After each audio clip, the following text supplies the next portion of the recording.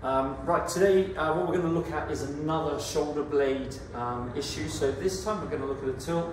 Uh, we've got Emma in a good position here. You can see that the shoulder blade should sit nice and flat on the ribs when we've got good posture. So if I get Emma just to go into a slight tilt position, and we'll see this probably slightly better on this side, we can see that this lower angle comes out and actually I can get my fingers in between the shoulder blade and the rib. So the shoulder blade has tilted forwards. Again, it tends to be something that comes through a natural dominant postures. Unfortunately for everybody, we spend a lot of time sitting at desks and computers and pec minor gets very tight and pulls the shoulder blade forwards.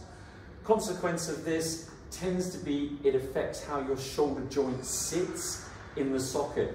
Uh, when we're sitting at a computer, we tend to be overactive and shortened through this rotator cuff muscle here, which is the infraspinatus, and that pulls the head of the humerus forwards in the shoulder socket, and that can then lead to instability type problems, uh, pain at the front of the shoulder, uh, and that's sort of obviously driven as a secondary thing because the shoulder blade has fallen into this tilted position. So we want to make sure if we can come back into a good position, we want to make sure that we get that shoulder blade nice and flat and that bone at the bottom is not sitting out. So it's a nice easy one to have a look in the mirror or get someone to have a look for you and just make sure that you're standing nice and flat.